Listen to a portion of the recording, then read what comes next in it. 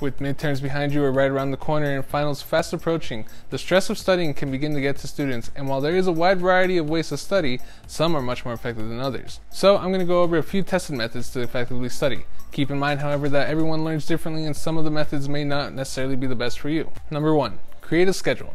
During a week of exams, finding time to study can be a real challenge. Sitting down to allot study time for your exams can take the stress off and give you a designated time for when to study. Doing so can give you a chance to prioritize when you should be studying certain topics and provide more time to study what you're already having the most trouble with. Number two, go over your notes daily. Taking the time to review your study material daily can help in the long run.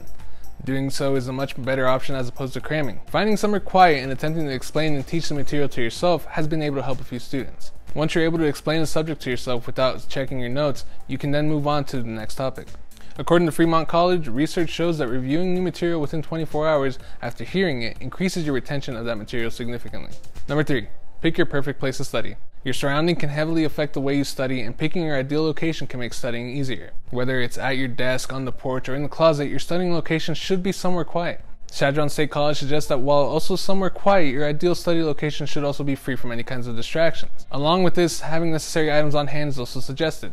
Having snacks, calculators, notebooks, highlighters, etc. on hand can help prevent any distractions that may come about if you were to have to get up and look for the said items.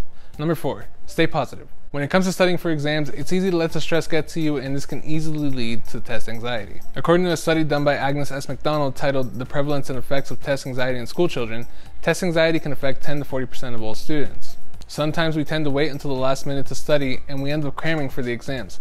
I personally find it tends to get the job done, but I definitely don't recommend it since it can cause a huge amount of stress. Having a good plan of study can be a big way to keep calm and sustain a positive outlook. And more importantly, remaining calm and keeping a positive outlook can help deter the symptoms of test anxiety. While these steps aren't going to magically fix all of your study problems, following them as well as researching other study tips can help make studying just a little bit easier. Thanks for watching.